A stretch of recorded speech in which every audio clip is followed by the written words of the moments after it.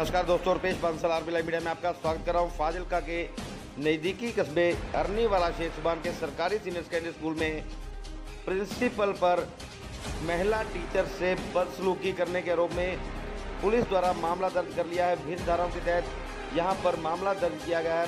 Principal पिछले पाँच दिनों से फरार बताया जा रहा है। प्रिंसिपल प्रदीप खनगवाल की गिरफ्तारी के लिए पुलिस द्वारा लगातार छापेमारी की जा रही है, लेकिन पुलिस गिरफ्त से प्रिंसिपल खनगवाल बाहर बताया जा रहा है। इस मामले में राजीनामा के प्रयास भी किए जा रहे हैं। आपको बता दें कि जुलाई महीने में प्रिंसिपल प्रदीप खनगवाल पर स्कूल की महिला अध्यापकों ने बदसलूकी करने, अश्लील बातें करने व उनके कपड़ों व रंग को लेकर कमेंट करने संबंधी एक शिकायत पुलिस को दी थी, जिस पर पुलिस ने जाँच पूरी होने के बाद प्रिंसिपल प्रदीप खनगवाल के खिलाफ मामला दर्ज कर लिया है उनकी अभी तक गिरफ्तारी नहीं हो पाई है हम लगातार आपको कवरेज दिखा रहे हैं बने रहे हमारे साथ देखते रहे हमारा चैनल हमारे चैनल को सब्सक्राइब करना न भूलें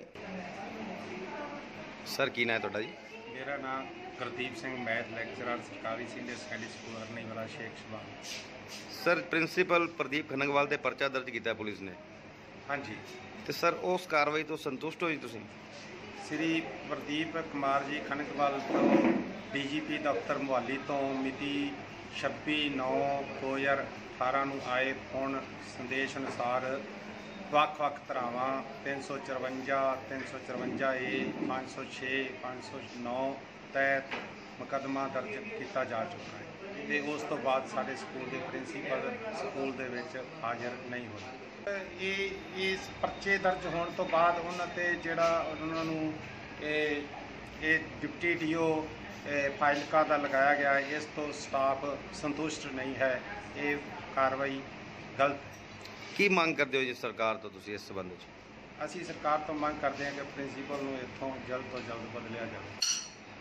ਸਰ ਉਹਨੇ ਜਿਵੇਂ ਟੀਚਰਾਂ ਨਾਲ ਬਦਸਲੂਕੀ ਕੀਤੀ ਉਹਨਾਂ ਨੂੰ ਅਸ਼ਲੀਲ ਸ਼ਬਦਾਵਲੀ ਵਰਤੀ ਤੇ ਸਿਰਫ ਬਦਲੀ ਹੀ ਉਹਦਾ ਇੱਕ ਸਰ ਸੋਲੂਸ਼ਨ ਹੈ ਨਹੀਂ ਇਸ ਤੇ ਵਿਭਾਗੀ ਕਾਰਵਾਈ ਪੁਲਿਸ ਵਿਭਾਗ ਦੁਆਰਾ ਕੀਤੀ ਗਈ ਹੈ ਤੇ ਵੱਖ-ਵੱਖ ਧਾਰਾਵਾਂ ਜਿਵੇਂ ਕਿ ਮੈਂ ਪਹਿਲਾਂ ਵੀ ਕਿਹਾ ਹੈ 354 354 ਏ 506 509 ਦੇ ਤਹਿਤ ਉਹਨਾਂ ਤੇ ਮੁਕੱਦਮਾ ਦਰਜ ਕੀਤਾ ਜਾ ਚੁੱਕਾ ਹੈ ਤੇ ਧਾਰਾਵਾਂ ਤੇ ਉਹਨੂੰ ਵੱਖ-ਵੱਖ ਤਰ੍ਹਾਂ ਦੀ ਸਜ਼ਾ ਵੀ ਹੋਈ क्योंकि प्रिंसिपल सब सर हमारे साथ बहुत बुरा करते थे अश्लील बोलते थे बुरे शब्द बोलते थे जो हम मीडिया के सामने नहीं बोल सकते जी।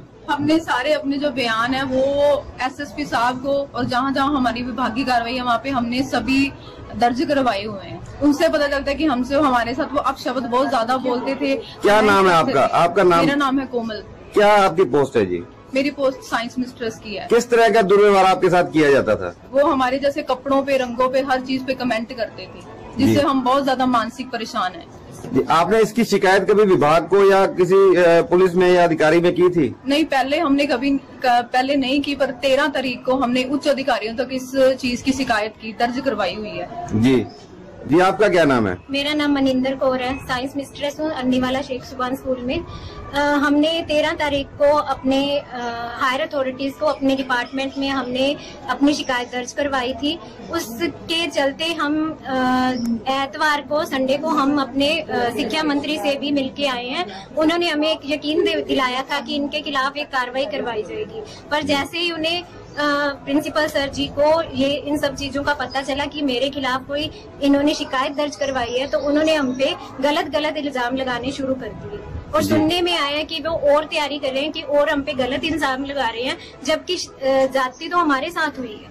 उन्होंने हमें अपशब्द बोले हैं हमारे सारे स्टाफ को रंगों पे कपड़ों पे कमेंट गंदे गंदे करते थे जी। जी आप बताएँ क्या मुद्दा था क्या नाम है आपका? संगीता रानी पंजाबी मिस्ट्रेस। हम मांग कर रहे हैं कि प्रिंसिपल साहब को सख्त से सख्त सजा दी जाए उनके विरुद्ध कार्रवाई की, की जाए ताकि ताकि जो स्कूल का माहौल है वो ठीक हो सके और हम बच्चों को और अच्छी तरह से पढ़ा सके। जी आप बताएँ आपका क्या नाम है? कुलविंदर कौर पंजाबी मिस्ट्रेस। जी किस तरह से आपको मानसिक रूप से परेशान किया जाता था उसके बारे में बताएँ। जही के जब भी कोई टीचर उनके पास कभी जाता था तो उनको कोई ना कोई वो कमेंट करते रहते थे। जिसको सुनकर वो बहुत ऐसे असहज महसूस करते थे इस तरह से परेशान हो जाते थे और आकर बाद में अपने स्टाफ से डिस्कस करते थे कि ऐसा किया जाए ऐसा मुझसे कहा गया जी ये स्कूल का स्टाफ हमें बता स्कूल में क्या नाम है आपका सीमा रानी हिंदी मिस्ट्रेस है मैडम क्या मामला था हमें जानकारी दें पूरी ਸਰ ਪ੍ਰਿੰਸੀਪਲ ਸਰ ਹਮੇਸ਼ਾ ਹੀ ਅਕਸਰ ਹੀ ਵੀ ਟੀਚਰਸ ਨੂੰ ਮਤਲਬ ਪੱਤੇ ਸ਼ਬਦ ਬੋਲਦੇ ਸੀ ਖੱਚ ਖੱਚ ਬ- ਬਦ ਦਿਮਾਗ ਮੋਟਾ ਦਿਮਾਗ ਅਸੀਂ ਪੜ੍ਹਾ ਰਹੇ ਹੁੰਦੇ ਸੀ ਫਿਰ ਵੀ ਕਹਿ ਰਹੇ ਸੀ ਕਿ ਵੀ ਤੁਸੀਂ ਪੜਾਉਂਦੇ ਨਹੀਂ ਪਏ ਇਸ ਤਰੀਕੇ ਦੇ ਸ਼ਬਦ ਬੋਲੇ ਜਾ ਰਹੇ ਸੀ ਹੁਣ ਸਾਨੂੰ ਧਮਕੀਆਂ ਦਿੱਤੀਆਂ ਜਾ ਰਹੀਆਂ ਹੈ ਤਾਂ ਅਸੀਂ ਹੁਣ ਹੋਰ ਜ਼ਿਆਦਾ ਮਾਨਸਿਕ ਤੌਰ ਤੇ ਪਰੇਸ਼ਾਨ ਹੋ ਗਏ ਹਾਂ ਸ- ਨਾ ਅਸੀਂ ਪਰਿਵਾਰ ਵੱਲੇ ਧਿਆਨ ਦੇ ਪਾ ਰਹੇ ਨਾ ਅਸੀਂ ਪ- ਆਪਣੇ ਬੱਚਿਆਂ ਵੱਲੇ ਜਾਂ ਸਕੂਲ ਦੇ ਵਿਦਿਆਰਥੀਆਂ ਵੱਲੇ ਧਿਆਨ ਦੇ ਪਾ ਰਹੇ ਹਾਂ ਅਸੀਂ ਬਹੁਤ ਜ਼ਿਆਦਾ ਪਰੇਸ਼ਾਨ ਕੀਤਾ ਜਾ ਰਿਹਾ ਸਾਨੂੰ जी इनका कहना है कि मानसिक परेशानी के चलते स्कूल के बच्चों की पढ़ाई प्रभावित हो रही है जी हमें बताएं क्या मामला है